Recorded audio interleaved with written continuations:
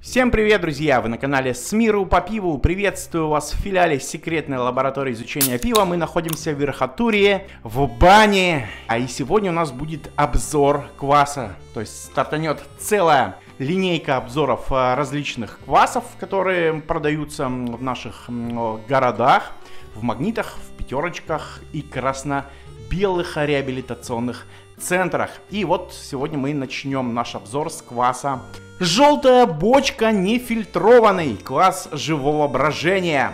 А уже такой квас я пробовал. Вместе с Политом Матвеевичем мы покупали такую же двушечку. Потом я покупал банку. И, честно сказать, этот квас э, ничего общего с квасом не имеет. Это просто какая-то сладкая бурда, которую хочется запивать. То есть э, абсолютно этот квас не утолял жажду. Но люди мне говорили, говорили, писали, что нужно пробовать квас нефильтрованный. Именно вот желтая бочка нефильтрованная, именно вот в нем, в нем вся соль находится. То есть а, именно самый классный квас, прям вот как тот из самых советских желтых бочек. Давайте нальем его, посмотрим, почитаем, что написано на этикетке.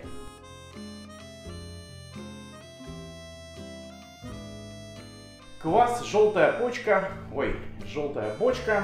Значит, а что у нас здесь? А, изготовитель ООО Трехсосинский, конечно же, завод из Ульяновска. А, не фильтрованный, не осветленный, не пастеризованный. Вода питьевая, сахар, мука ржаная, солод ржаной, сол пивоваренный ячменный, пищевая соль и Мармикс 25. Хлеба пекарные дрожжи еще, конечно же. Вот. Состав очень похож на фильтрованный квас. Ну, собственно, чего бы им отличаться-то? Вот такой у этого кваса э, цвет. Ну да, действительно, напоминает э, нефильтрованное пиво. Причем такое красивый же цвет, друзья мои. Пробуем, слушаем аромат, ну и пробуем вкус.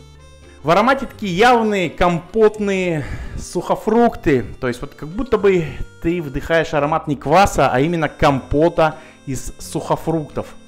В общем, курага и немножко чернослива. Пробуем вкус. Ой. Знаете, вкус сладкий, такой же компотный. То есть э, этот квас хочется взять и запить, потому что, ну, ой, на квас это не похоже. То есть вот есть квас э, желтая бочка фильтрованный, ну, такая же сладкая, какая-то невменяемая гадость. Покупай нефильтрованный, говорили они. И зачем я им поверил? 99 рупий за полтора литра этого кваса я отдал. И пить вот эту гадость, честно сказать, вот не хочется. Не чистоганом, ее даже никакого смысла нет совершенно добавлять в окрошку. Отвратительная, сладкая, компотная какая-то водичка.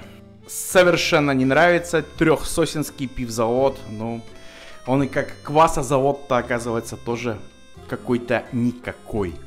Подписывайтесь на канал, ставьте лайки, пишите комментарии, обязательно нажимайте на колокольчик, чтобы всегда быть в курсе выхода новых видео на канале С миру по пиву. Всем добра и мира, друзья, увидимся, пока!